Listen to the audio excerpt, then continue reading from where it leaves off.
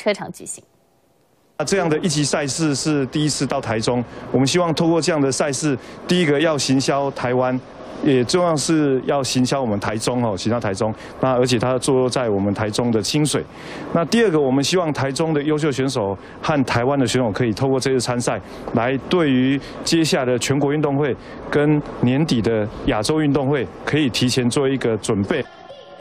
赛事有来自全球六个国家十八支的队伍，共计一百二十六位精英选手。这次的场地经典赛也可以说是九月杭州亚运的前哨战。